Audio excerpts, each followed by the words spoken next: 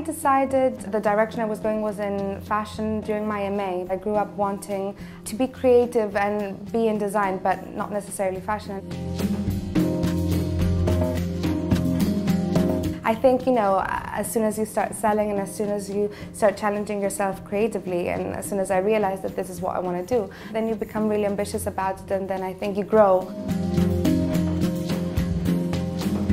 This season, it's um, kind of divided into color stories. So it has white, it has ivory, it has red, it has yellow, it has green, it has blue, it has, it has black. We've never done black. And part of each story is finding objects that you would use in an everyday way that you would never think you would want to wear or that you'd elevate them to something as precious. And in terms of embellishment, we thought it would be really interesting to do embroidery that it's a little bit more surreal than what we've done before, which was more picking up the colors.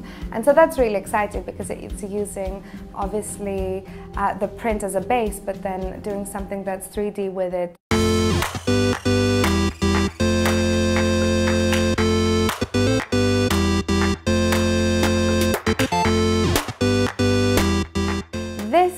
Season we're working with uh, Swarovski elements in a slightly different way. For example, um, an embroidery that's based on kind of a tornado of pencils and that's done with, I guess, a, a translation of what the pencil will be and building up the image square by square with the crystals.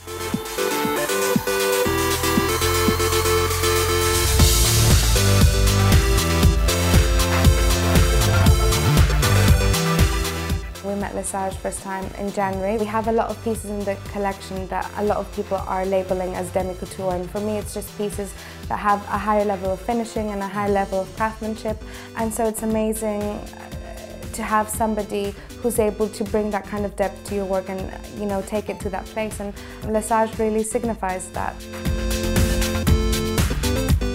It's not just about catching light this season, it's about making a piece that's quite out there and really reflects what the collection is about.